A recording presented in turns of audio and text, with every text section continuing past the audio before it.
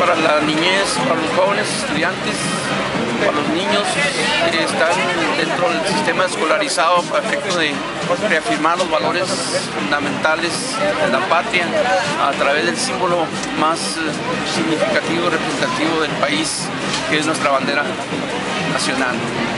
Eh, la historia de la misma bandera es un factor muy importante de aprendizaje para los jóvenes y los niños y bueno, en esta fecha se promulga, que se, viene a, celebrar eh, la vigencia de nuestra enseña patria, es importante que las autoridades juntamente con el sector, el sector educativo hagamos una ceremonia especial.